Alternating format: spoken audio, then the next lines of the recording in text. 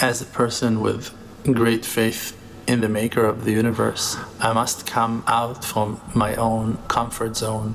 The real truth is, even though that we imagine and we feel that we live in modern days, the real truth is that nothing really ever changed. Those villains that are manipulating the world for their will and for their selfish goals, they are making our lives much harder than we can imagine because they are very, very wealthy and they have a very strong power and effect on economics and ways of communication like television and radio and newspapers and internet and all social media.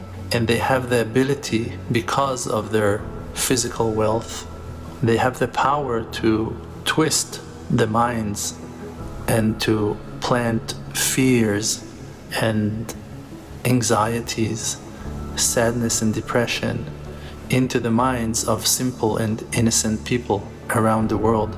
And therefore, we are finding ourselves in a spin, suffering tremendously in many, many ways, and being manipulated to a place that there is no way out from. At least that's how it seems to the eyes of the innocent ones. But we know, as true believers, as people of faith, that the Maker of the universe, He is the one that is above the limitations of this world. We as people, our hands are tied.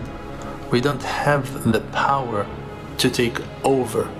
You cannot take your rage and go out to the streets and start fighting with people and to bring good results that will change the universe because they're going to be found a replacement for that villain that you will take down.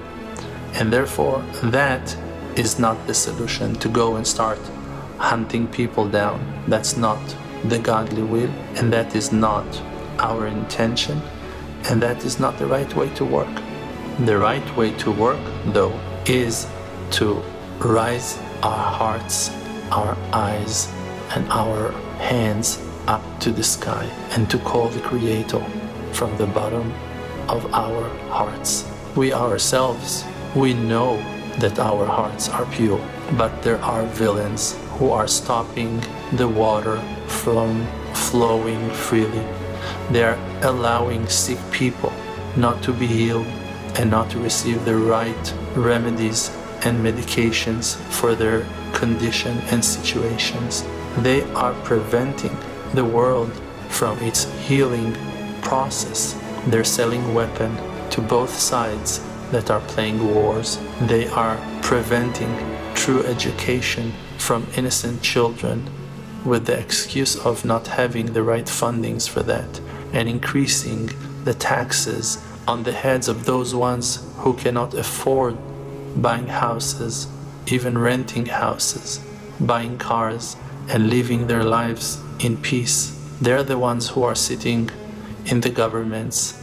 They're the ones who are controlling the industries and the markets. They are the ones who are preventing a lot of goodness from the simple and innocent people.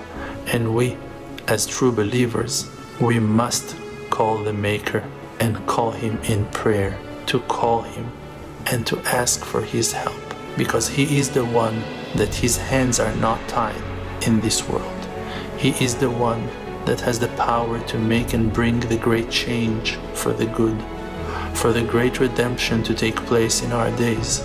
He is the one that is on top of all this craziness. He is the one that is the source of kindness and wisdom. He can plant the right solutions in our mind. He can give us the power to win the elections, to change the world, to make all the positive changes that are needed and so required for the correction and perfection of our world, for it to be renewed and refreshed and start over again in a better position of goodness and kindness that will spread to all directions. It is in our hands to call the Maker, to pray a simple and individual prayer to call Him from our hearts, to tell Him how much we need Him, how much we want Him to assist us. It is in our power to bring that change, not in a physical way, just in a spiritual way, to call the Maker and to ask for His help. As a true believer, I call you, no matter who you are, to which nation you belong, to which religion you associate yourself. I'm calling all the true believers to call the God that is above His creation and to ask for help and to say those words with truth from the bottom of your heart.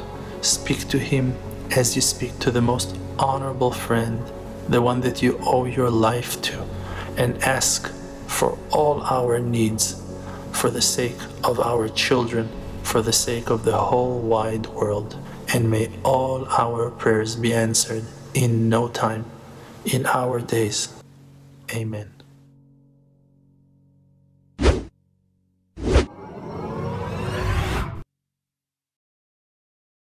Emunah Project is a non-profit organization. To support this work, please make a purchase from our online store or donate through emunah.com.